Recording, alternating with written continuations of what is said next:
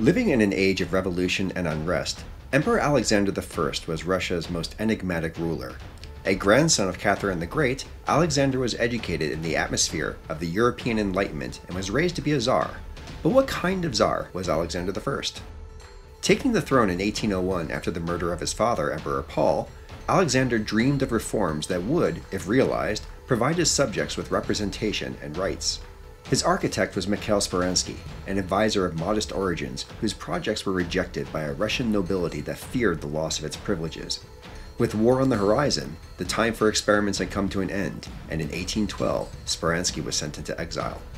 Like Speransky, Alexander was fascinated by Napoleon, initially seeing Bonaparte as the embodiment of the Enlightenment's liberal values.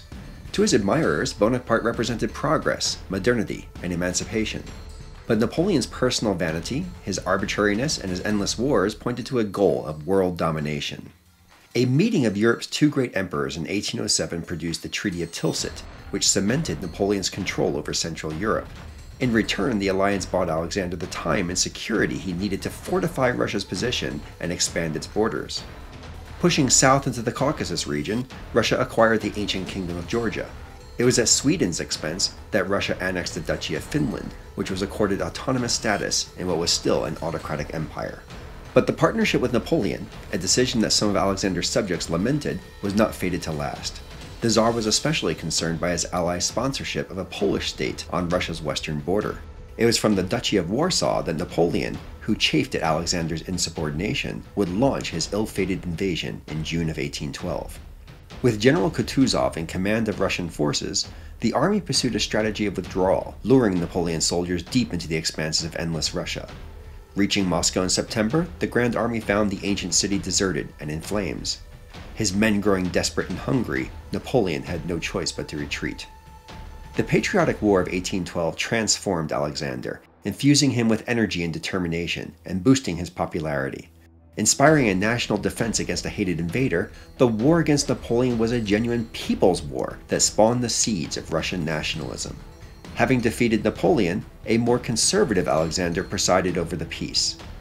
An unprecedented gathering of Europe's leaders, the Congress of Vienna shaped international relations for a century and conferred enormous prestige upon a Russian emperor who then stood at the height of his power. But it was not long before Alexander's interest in worldly affairs gave way to isolation and mysticism. Even as serfdom disappeared in the Baltic provinces and Finland and Poland were granted autonomy, the Tsar's zeal for reform faded, and so did his desire to rule.